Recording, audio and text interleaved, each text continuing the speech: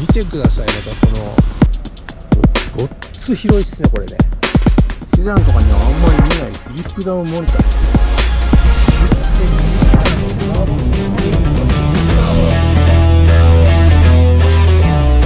はいこんにちは。ビンマンズの小出です。ビンマンズチャンネルではガレージ R グループガレージ R キングバイヤーで販売中の中古車車両を、えーじゃんじゃんアップしております、えースポーツカーの中古車が気になる方はぜひチャンネル登録をよろしくお願いいたします。はいということでですね今日はですね、えー本店に来ております。本店に来ております。今日はですね、えー珍しい車をですね紹介したいと思います、えーその車がこちらです。でん。おーマツダアテンザセダン4ドアですね、えー DX なのでディーゼルですね、えーなんだただのセダンじゃんって思うとはあちょっと違うんですけどこれはねマニュアルなんですよ。マニュアルの6速マニュアルのマニュアルの6速で、えー 2200cc のディーゼルですよ。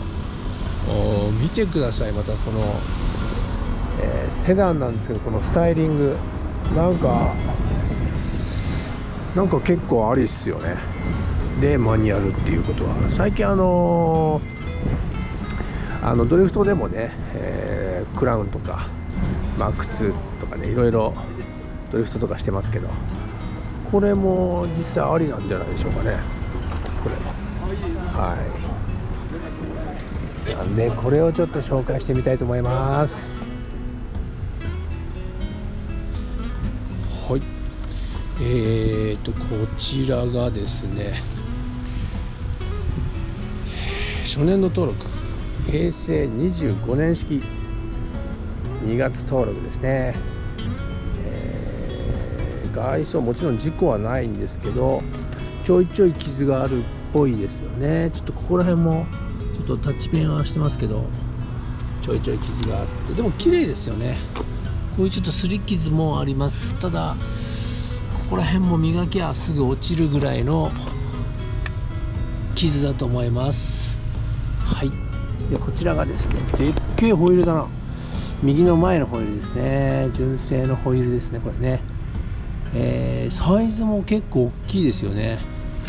これがね 22545R19 です。ホイールちょっとここら辺にガリ傷がちょいちょいとありますけど。でタイヤが横浜の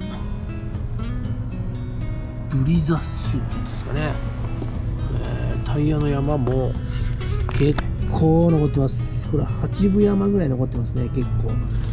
山は結構残ってますね。でほぼフェンダー周りも綺麗だし傷は一つもないですね。ここら辺もちょっとツダはこうフロント周りがみんな統一っぽいですよね。このグリルの形といいヘッドライトの形状といいこちらが正面からの感じです。一応上下に分かれてここからエアを吸ってここからもエアをするよと。ここにマツダのどでかいエンブレムが。でフォグランプがついてますよと。ここがちょっとこのリップスポイラーの部分の付け根のところちょっと塗装が剥がれちゃってますね。でこの下回りもちょいちょいちょっと傷があるかな。でライト。ちょっとここもなんか吸った感じの傷がありますけどクリア度はもうめちゃめちゃ綺麗ですね。でこれコーナーセンサーでしょうね。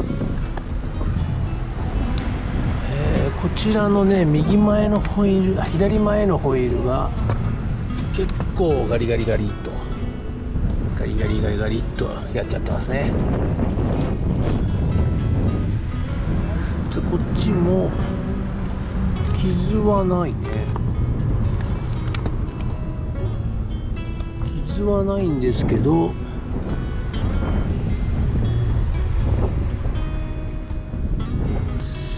板金跡っぽいのがありますね。塗装してるな。はい。でちょっとここのミラーもちょっと吸ってる跡があります。フロントガラスは綺麗なもんですね。ボンネットも綺麗ですしここちょっと飛び石がありますけど。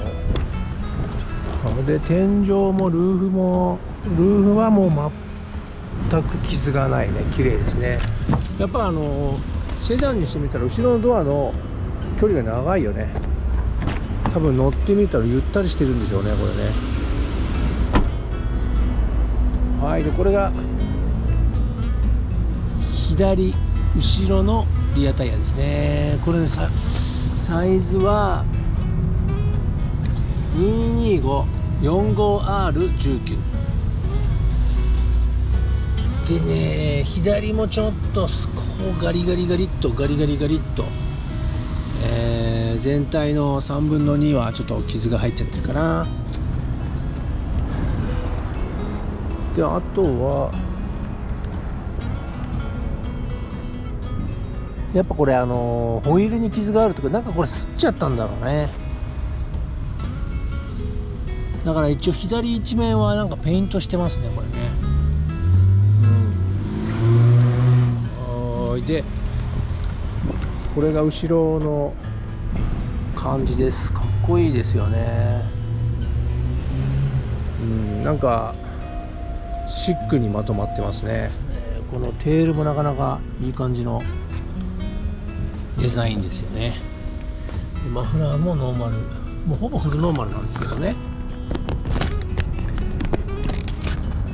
こちらが下回りになります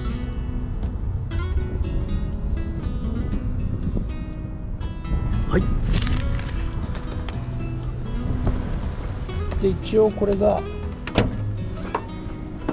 ここにあるボタンをピッと押すとガバッと開きますね。これリアカメラのやつ。トランクスペース見てみましょう。ごっつ広いっすねこれね。めっちゃ広い。見えますか？こちらここまで。ここまでありますよ。もう何これ？すごいねフルバックが123個は入りそうだよね。横でも123個。4つは全然余裕で入りそうですね。すごいね。こんな広いんだね。これをちょっと開けるとあでもスペアタイヤは今もう積んでませんね。でパンク修理セットと工具が入っております。そこの下を見てみるとこうなってますね。でもここにタイヤも入れれるようにはなってるかな。うん。あそれで一応この状態でここにレバーがあります。後ろの席の背もたれを。こ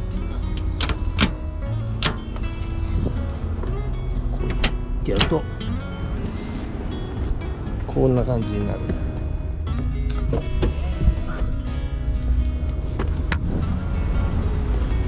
そうするともうより広いスペースが出来上がりますね。すごいね。これは便利だね。うん。これはめちゃめちゃ広いですね。で右の後ろに来て右の後ろもここにちょいちょいえー、ガリ傷ありますけどだいたいここら辺は綺麗だね。あ見つけました。ここにね傷があるわ。すり傷。これも一生懸命コンパウンドでピーピーってやればもう98割方目立たなくはなりますけど。でここにねエクボがあるんだよね。ここにエクボがここにエクボが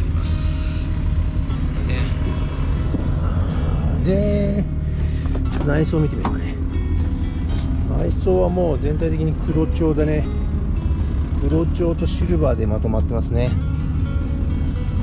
い、シートは純正モケット。センターと外側の部分でちょっと素材が違いますけどね。で電動じゃなくて手動のえー、シートですね。で応トラクションコントロールとアイドリングストップ。で AFS オフ。これが何だっけな。えー、アダプティブフロントライティングシステムってやつですね、は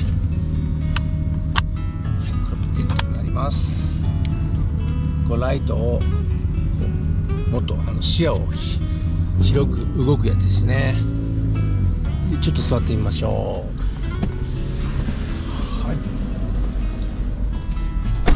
5人乗りなんですけど広いね。すごい余裕があります。ちょっとエンジン。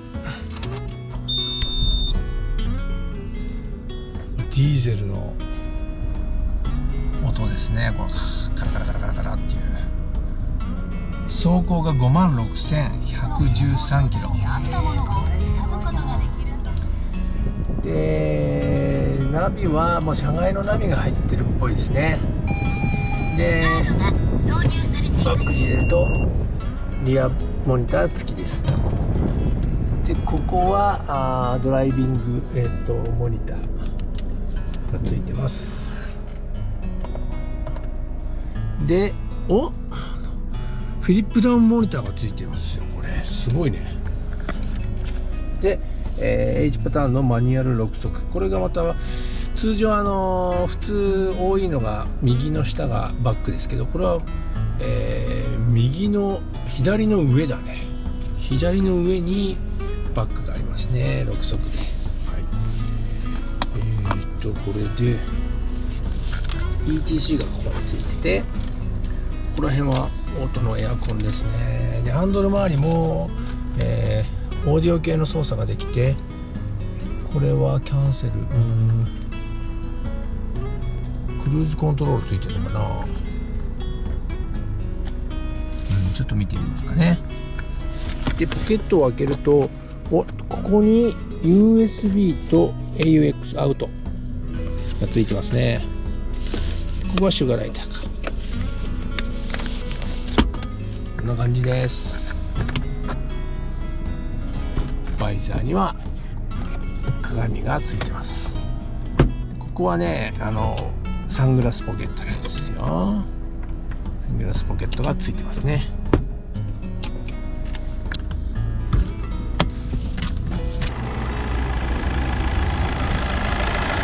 スカイアクティブアクティブテクノロジーあもうあのディーゼルのことですね。これね。エンジン構造的にはそんな変わんないと思うけどまあ燃料噴射とねあのあれが違うっていう感じで。もう爆発の音量が違うんでしょうねこれね。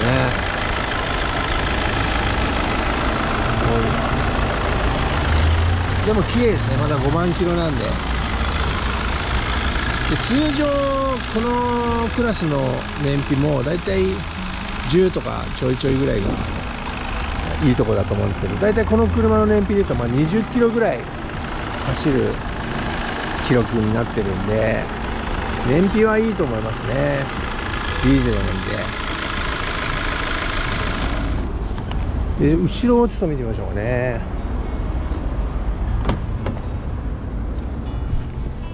うわ広もうこれだけあるんでもうこの見てください窓の長さね。で通常セダンとかにはあんまり見ないフィリップダウンモニターもついてますよ。これは便利ですねこれね。こんな感じでここにライト。これがつくだけね。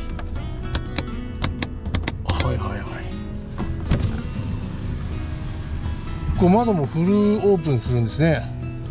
でできないところだけは固定になってますけど。はい。めちゃめちゃ広いです。肘掛けがついてここにドンと。けると。倒せますしね。でセンターと分かれて右左ではあの倒せますし長いものも詰めますよと。こんな感じです。はいそれではちょっと運転してみたいと思います。すごい軽いなアクセルも。すごく軽くて。どんな感じなんだろう。2002.2リッターのターボなんでディーゼルターボ。った感じは全く違和感なく普通の車と何ら変わりないんですけどやっぱりエンジン音と伝わってくる振動っていうのは全然違いますねなんかね。でまずこのアイドリングした時にアイドリングストップだから止まるんですけどエンジンが。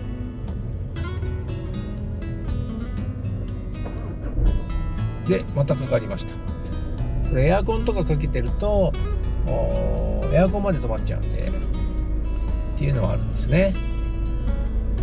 今外気温度が31度です。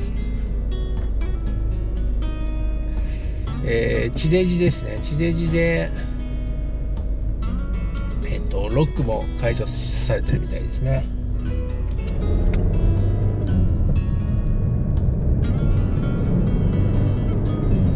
加速はあるね。トルクがなんかちょっと足りなそうですけど。でも全体的にあの高級感っていうのはあると思いますね。一応ハンドルも全部革ですし。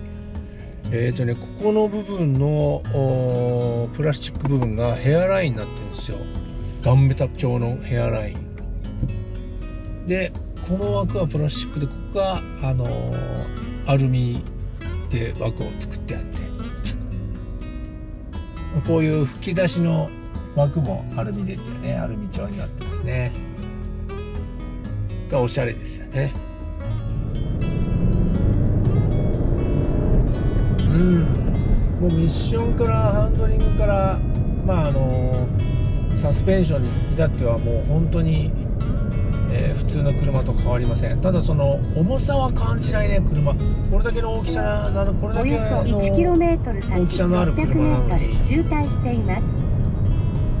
ブレーキ踏んだ時にこう沈み方とかハンドルを切った時のこう傾き方とかっていうのは感じられないってことは足回りが硬くセッティングされているのかそれをうまく吸収しているのかもうエンジン音が静かですよね。それでいて燃費もいいしってことになるとすごくいい車なのかこれ。昔ほどあのディーゼルで黒煙吐くような時代はもうとっくに終わりましたので。ここにクルーズコントロールがやっぱりきちっとついてます。ほら。ハンドルは関係ないけどもう何キロでも普通にアクセル踏んでないけど巡航してくれる。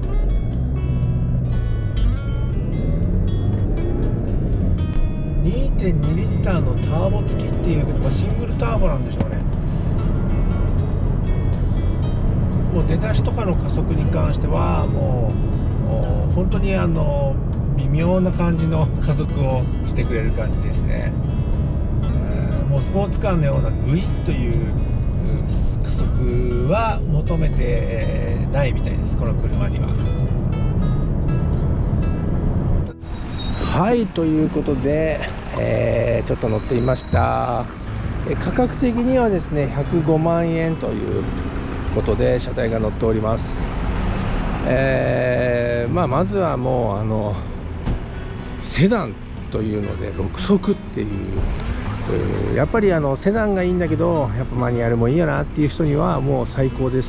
でまたえっとお財布に優しいっていうところがマツダの今のスカイアクティブ技術をふんだんに使った車ですので、えー、今流行りのねこの形のやつで。まあ価格的にもそんなね高いっていうわけじゃないんで、えー、気になった方はガレージある本店までご連絡ください、えー、またよろしくお願いします。またいろいろアップしていきますんで。それではまた。